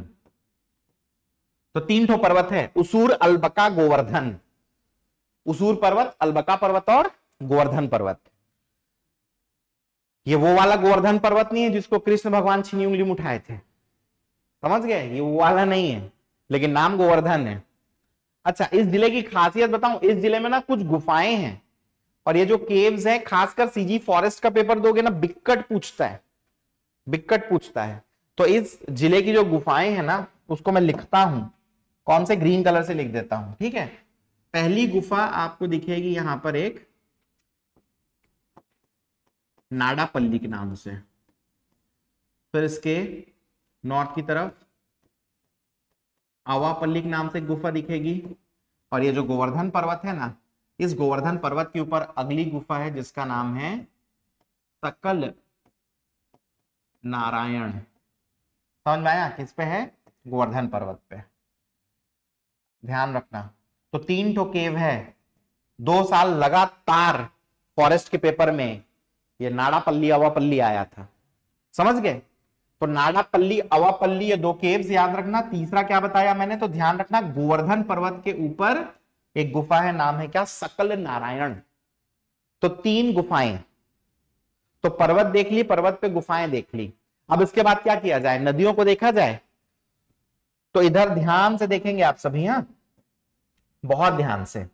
सबसे पहले ध्यान रखना, एक नदी है जिसका नाम गोदावरी है। क्या नाम है नदी का? गोदावरी। अब ये जो गोदावरी है, ये बेसिकली महाराष्ट्र से निकलती है, त्रयंबक हिल्स नासिक के पास से। अब ये बहते हुई आती है। और ये जब आती है ना तो महाराष्ट्र और तेलंगाना के बिल्कुल बॉर्डर पर फ्लो होती है नदी, समझ गए? और ये नदी, ये थोड़ा सा हिस्सा क्या करती है? छत्तीसगढ़ का बॉर्डर बनाती तेलंगाना के साथ, और ये नदी सीधा नीचे चली जाती है। उसके बाद छत्तीसगढ़ में वापस से एंटर नहीं करती गोदावरी नाम है क्या नाम है? गोदावरी। ठीक है? आई होप आप लोग यहाँ तक समझ गए। अब नेक्स्ट ध्यान रखना। दंतेवाड़ा डिस्ट्रिक्ट से आगे आई थी इंद्रावती। अब ये इंद्रावती क्या कर रही है? तो बॉर्डर पकड़ ली महाराष्ट्र के साथ। छत्तीसगढ़ का बॉर्डर बना रही है। और ये आई और ये मिल गई किससे पता है? तो ये मिल गई अपने गोदावरी नदी इंद्रावती नाम है। क्या नाम है? इंद्रावती। इंद्रावती और गोदावरी का संगम छत्तीसगढ़ में कहा हो रहा है? भद्रकाली। ध्यान रखना, इंद्रावती और गोदावरी का संगम कहाँ पर हो रहा है? छत्तीसगढ़ में भद्रकाली। क्लियर है? तो भद्रकाली लिख देता हूँ यहाँ पर। इंद्रावती प्लस गोदावरी का कॉन्फ्लुएंस है जी। संगम। आई होप आप लोग बहुत अच्छे समझ गए होंगे। क्लियर है ये बात? ठीक है। अब इसके बाद ध्यान रखना, एक छोटी सी नदी है, इसका उद्गम नहीं मिलेगा, जो कि एक्चुअली क्या है पता है? इस इंद्रावती की सहायक है। नदी का नाम है बेरुड़ी। क्या नाम है? बेरुड़ी समझ गया कि नहीं समझ गए क्या नाम है? बेरुड़ी इसके बाद, एक नदी है जिसके तट पर ये गोवर्धन पर्वत है। और ये जाकर सीधा किसमें मिल रही है जी? तो ये मिल रही है अपने इंद्रावती में। नदी का नाम है, थोड़ा सा पतला कर देता हूँ, मोटा हो गया, यहाँ दिखेगा नहीं।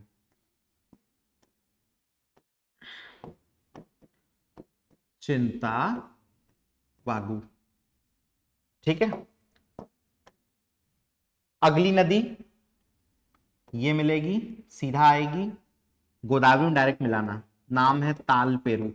मैंने बहुत जगह देखा कि ताल पेरू को ना चिंता वागू की क्या बना देते हैं? सहायक ट्रिब्यूटरी नहीं करना, बिल्कुल ऐसा नहीं है। डॉक्टर एल एन वर्मा की बुक में जाके जब आप लोग पढ़ोगे ना, नदियों वाला चैप्टर उसमें मैप में साफ़ दिया हुआ है। कि चिंता वागू इंद्रावती मिल रही है, ताल पेरू गोदावरी मिल रही है। तो अंड बंड अपने मन से मत करना भाई। समझ गया कि नहीं समझ गया? चिंता वागू किसमें मिलाओगे? इंद्रावती। ताल पेरू गोदावरी। आई होप यहाँ तक समझ गए। तो नदियाँ देख लिए। इंद्रावती की सहायक बेरुड़ी इंद्रावती की सहायक चिंता वाकू इंद्रावती खुद किसकी सहायक? गोदावरी। गोदावरी की सहायक ताल अब इसके बाद क्या किया जाए? जलप्रपातों को देखा जाए वाटरफॉल्स को। और वाटरफॉल्स के लिए क्या कलर यूज़ किया जाए जी? नया टाइप का, कुछ लाल टाइप का कर लेते हैं, ठीक है? ये जो अवापल्ली है, आप आ जाओ इसके किस तरफ़?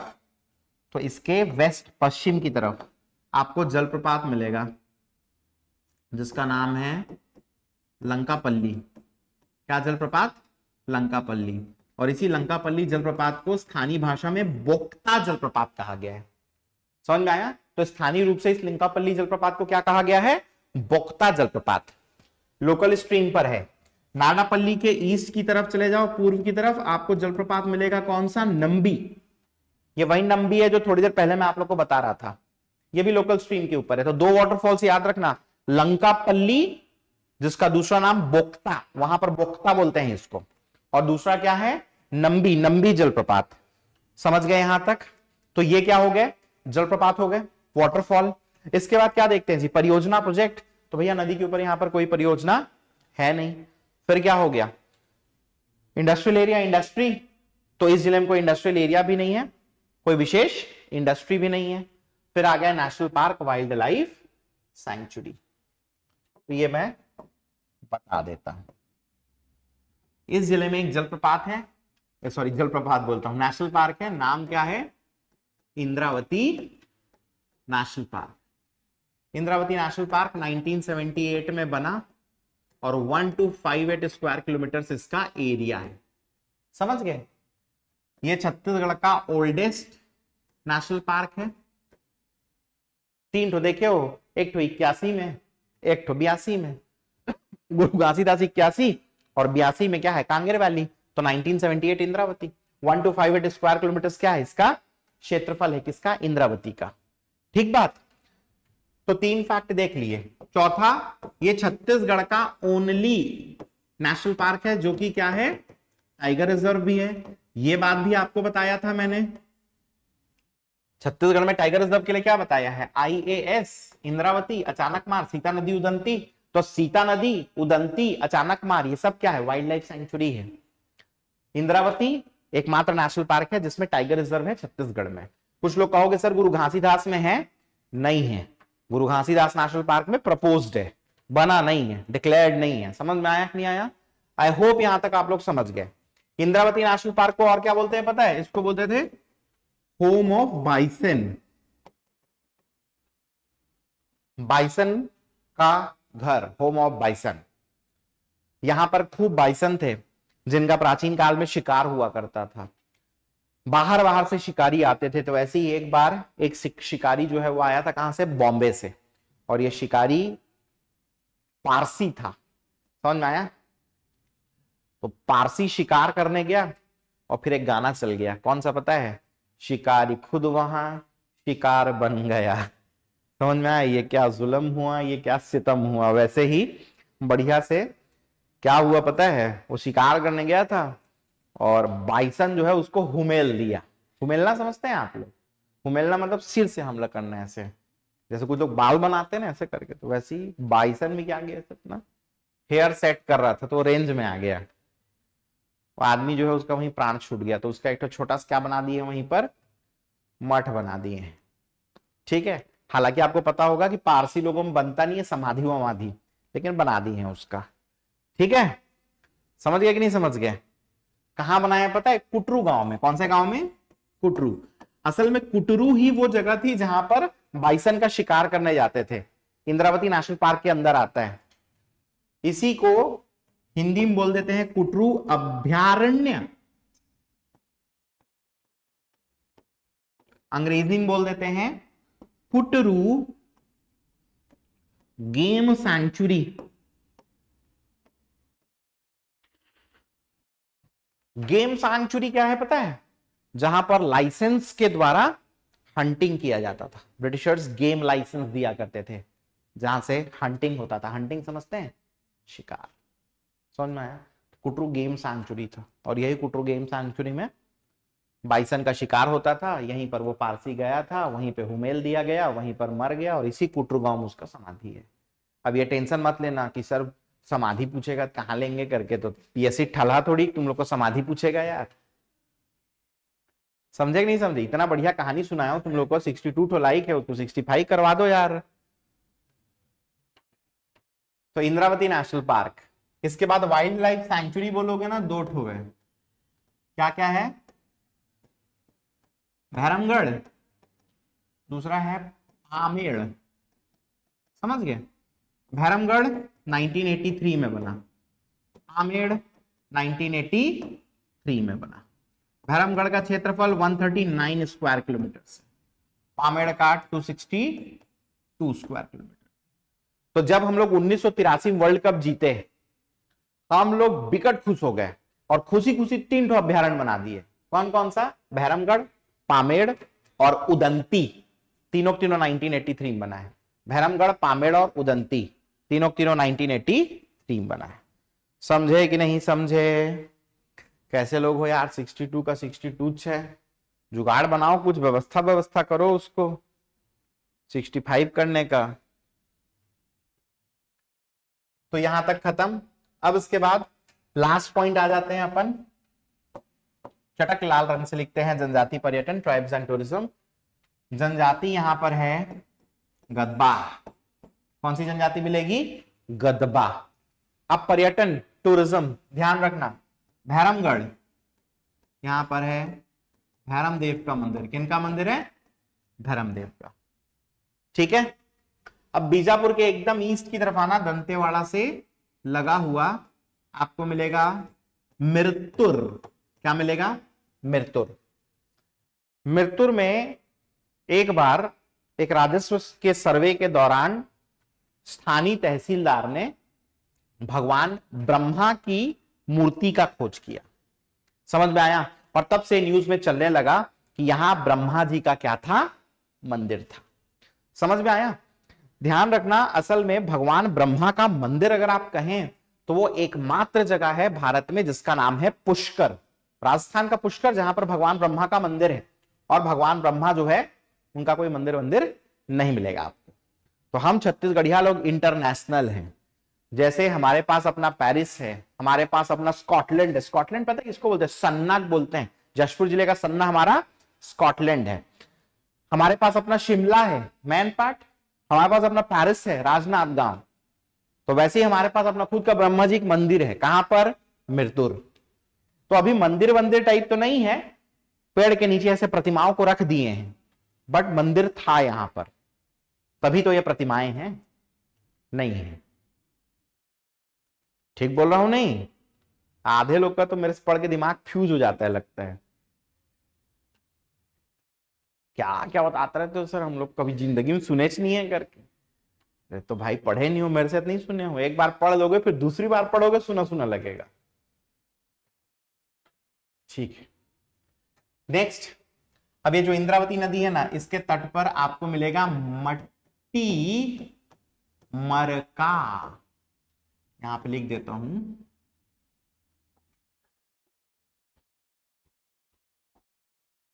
मृत्युर में लिख देता हूँ ना। भगवान ब्रह्मा की मूर्ति। मट्टी मरका, किस नदी के तट पर है? इंद्रावती। आपने कई बार देखा होगा, नदियों के तट पर ना रेती रहती है। तो यहाँ पर जो रेती है ना, एकदम सुनहरे कलर की है। समझ में आया? एकदम गोल्डन रिवर बैंक है ये, सुनहरा नदी का किनारा।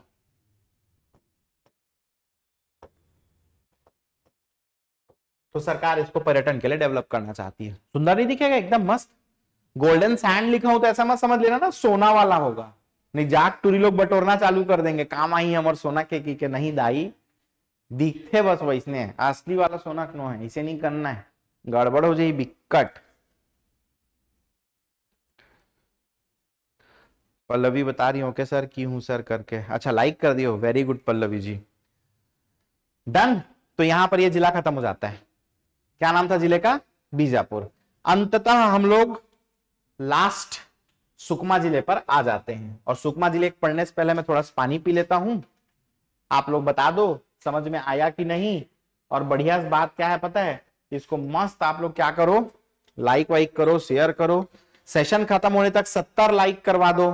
खूब शेयर करो, अपना स्टेटस बनाया करो, अपने संगवारी लोग तक भेजा करो कि ये जो सर हैं, ये पढ़ा रहे हैं फ्रीम करके तो तुम लोग ये सब करते ही नहीं हो यार, गजब लोग हो।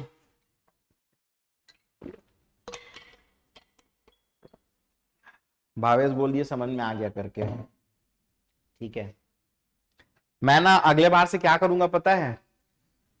एक तो ऐसा व्यवस्था करूँगा कि जो जो लाइक और शेयर करेगा, बस वही मेरा वीडियो देख सकेगा। बाकी लोग देख ही नहीं पाएँगे करके। तब देखता हूँ कितना लाइक शेयर आता है और तिरसठ। मेरे को लगता है जितने लोग देख रहे हैं ना, वो सब लाइक भी कर चुके हैं और सब लोग शेयर वेयर कर दिए हैं। अपना फर्जी अकाउंट से भी जाके लाइक कर दिए लग रहा है सब लोग। तभी अब वो तिरसठ से बढ़ नहीं रहा है, एकदम सैचुरेट हो गया है। ठीक है, चलो भाई, क्या कर सकता है आदमी?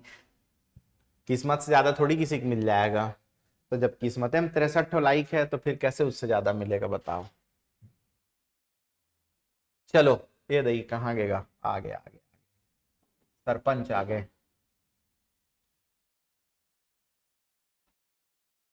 हम्म डन तो ये हमारा सुकमा डिस्ट्रिक्ट का मैप रेडी है बिल्कुल. ऋषि तारे सौ प्लस हो जाएगा लाइक कब? प्रश्न तो मेरा यही है. कब? ठीक है. हालाँकि मेरे को पता है कि हम लोग नए हैं, हमारा चैनल नया है इंस्टीट्यूट नया है. समय लगेगा, लेकिन होगा. ठीक है? ठीक बात. चलो, शुरू करते हैं हाँ. नॉर्थ की तरफ़ से एक, दो. तीन और ये चार। इसको क्या करना? दो भाग में बांटना है ऐसे तो नॉर्थ की तरफ़ से लेना कितनी लाइन चार। तो साउथ की तरफ़ से लेना एक, दो। समझ गए? नॉर्थ से चार साउथ से दो। नाम लिखना चालू करें। एकदम साउथ से लिख लेते हैं। ये आंध्र प्रदेश है। फिर ये क्या है? तेलंगाना। ये आंध्र प्रदेश है, ये क्या है? तेलंगाना। ये हिस्सा अपना बीजापुर है। ये हिस्सा अपना दंतेवाड़ा है। और फिर ये छोटा सा हिस्सा बॉर्डर करता है बस्तर से। यहाँ से यहाँ तक बॉर्डर किससे कर रहा है? उड़ीसा से। समझ गए? तो सुकमा डिस्ट्रिक्ट के एक्सट्रीम साउथ धुर दक्षिण में आंध्र प्रदेश है। अब इसके बाद जब इसको क्या करें क्लॉकवाइज घूमे तो फिर तेलंगाना है, बीजापुर है, दंतेवाड़ा है, बस्तर है और उड़ीसा। अगर आप ध्यान से देखें, खिलेन, नमस्ते। खिलेन लाइक किए हो, नहीं किए हो यार? करो तो फटाक से लाइक तुम भी। सब लोग बोल रहे होंगे कमेंट करना बेकार है, नाम पकड़ पकड़ के सर बोल रहे हैं लाइक करो करके। तो तुम लोग नहीं करते हो तो भाई खुद ही करवाता हूँ पकड़ पकड़ के, और क्या? ठीक है, चलो मस्ती मज़ाक खत्म, आगे बढ़ते हैं। सुकमा छत्तीसगढ़ का एक ऐसा जिला है जो कि तीन राज्यों को टच करता है। ठीक है? तेलंगाना है, आंध्र प्रदेश है और उड़ीसा है। वैसा ही जिला क्या है? बलरामपुर। बलरामपुर भी एमपी यूपी और झारखंड इसको टच करता है। ठीक है? शुरू करें। तो सबसे पहला पॉइंट क्या आता है? प्रशासन एडमिनिस्ट्रेशन और उसी में ब्लॉक विकास खंड ध्यान रखना, सबसे पहला विकास खंड है छिंदगढ़। फिर अगला।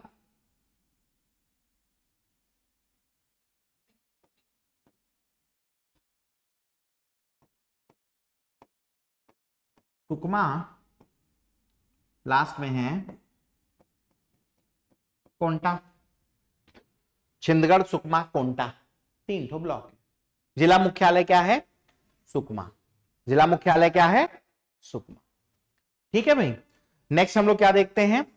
नेशनल हाईवे नेशनल हाईवे एक ठो दिखेगा यहाँ पे। National highway number thirty Bastar से आगे आया, छिंदगढ़। छिंदगढ़ से सुकमा सुकमा से कोंटा, छत्तीसगढ़ से बाहर। तो national highway sorry sorry national highway number thirty इस प्रकार से छत्तीसगढ़ से बाहर निकल गया। ठीक है? तो ये हो गया नेशनल हाईवे नंबर थर्टी की कहानी। इसके बाद विधानसभा तो यहाँ पर विधानसभा एक ही है। कोंटा। क्या नाम है विधानसभा का? कोंटा। नगर निगम? सुकमा ज़िले में कोई नगर निगम नहीं। सुकमा ज़िले में कोई नगर निगम नहीं। इतिहास की बात करें तो इतिहास ज़िले का गठन 2012 2012 मातृ जिला, पेरियन डिस्ट्रिक्ट इसका क्या था जी? दंतेवाड़ा। तो आपको ध्यान रखना है, इस पूरे बस्तर संभाग में दो ज़िले हैं, बीजापुर और सुकमा। दोनों का मातृ जिला पेरियन डिस्ट्रिक्ट दंतेवाड़ा है। और दंतेवाड़ा के खुद का पेरेंट डिस्ट्रिक्ट क्या है? बस्तर।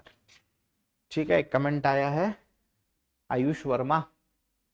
वाटरवे वाटरवे भी है ना? हाँ तो वाटरवे है ना जी? उसके लिए लेकिन पहले नदी बनाना पड़ेगा ना। तो नदी बनाऊँगा, तब बताऊँगा, ठीक है?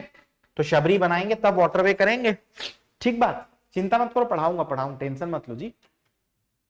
तो इतिहास में इतना ही याद रखना है। गठन 2012 में हुआ है, मात्र जिला पेरेंट डिस्ट्रिक्ट इसका क्या है? दंतेवाड़ा। अब आ जाओ भूगोल, ज्योग्राफी।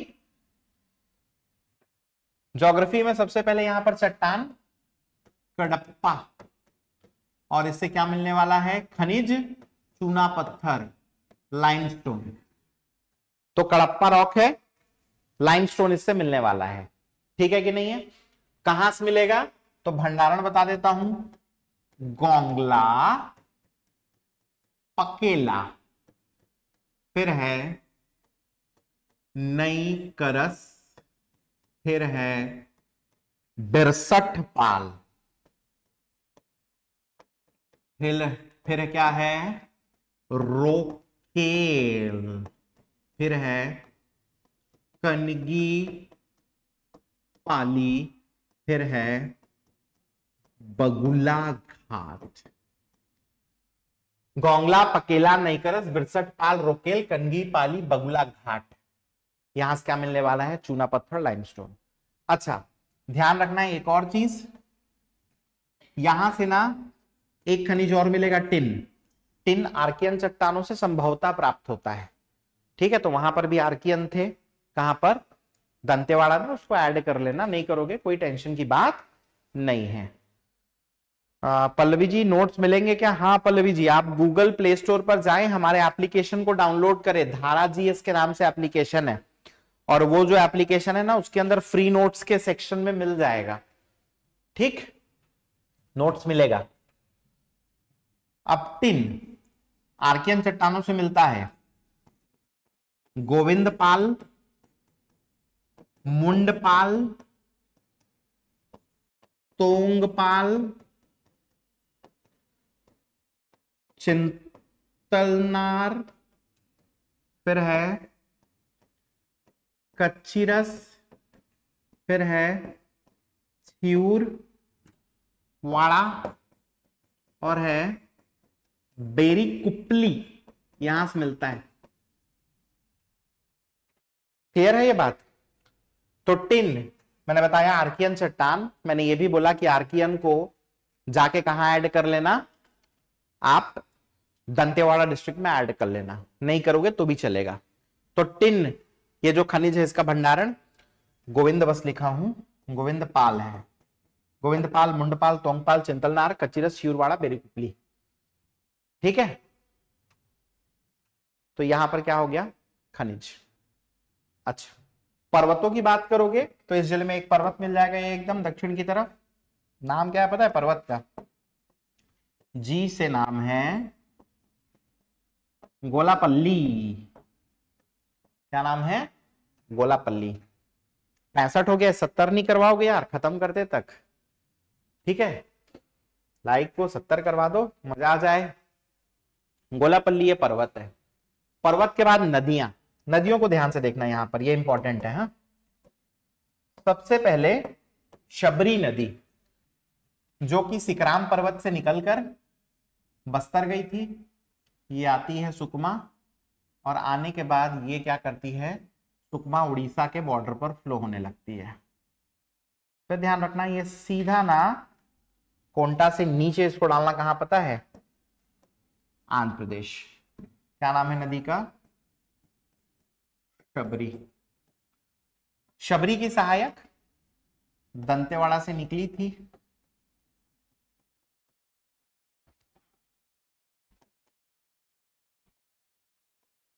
मलगेर। तो शबरी और सहायक मलगेर। ठीक है? शबरी नदी के बारे में ध्यान रखना। इसमें ना हमारे राज्य के कोंटा से आंध्र प्रदेश के कुनावरम तक। लगभग 36 किलोमीटर लंबा एक स्टेट वाटरवे है। राजकीय हमारा क्या है? जल मार्ग है। समझ गया कि नहीं समझ गया स्टेट वाटरवे है। शबरी नदी पर कोंटा से कुनावरम तो कोंटा तो दिख गया कुनावरम आंध्र प्रदेश में। एक्चुअली कुनावरम वह जगह है जहाँ पर ना शबरी जाकर खुद किसमें मिलती है पता है? गोदावरी में। कुनावरम वही जगह है। ये कुनावरम जहाँ पर शबरी जाकर गोदावरी में मिल जाती है। क्लियर है? तो ये नदियों को ध्यान रखना। नेक्स्ट जलप्रपातों की बात करोगे वाटरफॉल तो मलगेर नदी पे मलगेर इंदुल नाम से एक जलप्रपात है। कौन सा जलप्रपात है? मलगेर इंदुल। ठीक है? नेक्स्ट ध्यान रखना। एक जलप्रपात यहाँ पर है, शबरी नदी के ऊपर, रानी द रहा। इसको रहा करना ना, हरा मत करना। अगर रानी द हरा कर दिए तो कबीर धाम पहुँच जाओगे। वहाँ पर था रानी दहरा, जो कि स्थानीय सरिता लोकल स्ट्रीम पर था। ये रानी द रहा है। रानी दरहा, ये जो वाटरफॉल है, ये बेसिकली शबरी नदी के ऊपर है। अगला वाटरफॉल शबरी के ऊपर गुप्तेश्वर। तो गुप्तेश्वर और रानी दरहा, ये दो वाटरफॉल शबरी के ऊपर है, फिर एक वाटरफॉल मलगेर के ऊपर है, नाम क्या है इसका? मलगेर इंदुल। समझ गए? तो जलप्रपात हो गए। जलप्रपात के बाद परियोजना प्रोजेक्ट तो इस ज़िले में क्या किसी नदी के ऊपर कोई परियोजना प्रस्तावित है? नहीं है। ठीक है? नेक्स्ट हम लोग किस पर आ जाते हैं? इंडस्ट्रियल एरिया और इंडस्ट्री तो इस ज़िले में कोई इंडस्ट्रियल एरिया है क्या? तो है सुकमा के नाम से इंडस्ट्रियल एरिया ठीक है? लेकिन कोई बहुत महत्वपूर्ण इंडस्ट्री नहीं है. कोई महत्वपूर्ण इंडस्ट्री यहाँ पर नहीं है. समझ गया कि नहीं समझ गया फिर national park wildlife sanctuary नहीं है भैया सुकमा में. नेशनल पार्क भी नहीं है वाइल्ड लाइफ सेंचुरी भी नहीं लास्ट में इस ज़िले का जनजाति एवं पर्यटन ट्राइब्स एंड टूरिज़्म तो जनजाति यहाँ पर मिलती है, कौन सी पता है? दोरला। कौन सी ट्राइब मिलेगी? दोरला। और पर्यटन टूरिज़्म में एक जगह है, रामाराम। और ये जो रामाराम है, यहाँ पर है चित, पिटिन, माता। चिटपिटिन माता का मंदिर है कहाँ पर? रामाराम। समझे कि नहीं समझे? इतना ही है, पर्यटन में और कुछ भी नहीं है। और इसी के साथ हमने क्या कर लिया? सुकमा डिस्ट्रिक्ट भी खत्म कर लिया। बस्तर संभाग और छत्तीसगढ़ के पूरे संभागों के परिचय को हमने क्या किया? देख लिया। लेकिन आप लोग का लाइक पैंसठ से नहीं बढ़ा। सत्तर कर दो बोला था। पैंसठ से क्या? छियासठ भी नहीं हो पाया। चलो ठीक है, कोई बात नहीं। तो यहाँ पर इस क्लास को हम लोग क्या करते हैं? समाप्ति की घोषणा करते हैं। नेक्स्ट आपको क्या बात ध्यान में रखनी है? तो कल 11 बजे आप लोग लाइव आ जाना करंट अफेयर्स के लिए। ना सिर्फ़ पढ़ाऊँगा, बल्कि याद भी कराने की पूरी कोशिश करूँगा, ताकि चीज़ें आपको क्या हो सके, याद हो सके। एमसीक्यूज भी रहेंगे कंटेंट भी रहेगा। तो क्वेश्चन भी करेंगे और पढ़ेंगे भी, समझेंगे भी। तीन वीडियो में मेरी कोशिश रहेगी कि छत्तीसगढ़ का पूरा करंट अफेयर्स आप लोगों को याद करवा दूँ। समझे कि नहीं समझे? ठीक है? तो आज के लिए विदा लेता हूँ। आप सभी का अनेक अनेक धन्यवाद कि आपने लगातार डेढ़ घंटे तक मुझे झेला। ठीक है? और ऐसी आशा करता हूँ कि कल हम फिर से मिलेंगे। ठीक है? तो हमारे चैनल को लाइक करो, सब्सक्राइब करो, एप्लीकेशन को डाउनलोड करो। कर लिए हो तो अच्छा बात है। अनइंस्टॉल करो, फिर करो। ठीक? चलो तो आज की क्लास को यहीं पर खत्म करते हैं। आप सभी एप्लीकेशन को डाउनलोड कर लें, उसमें से नोट्स मिल जाएगा। ठीक है चलो कल मिलते हैं आप सभी से। Thank you and take care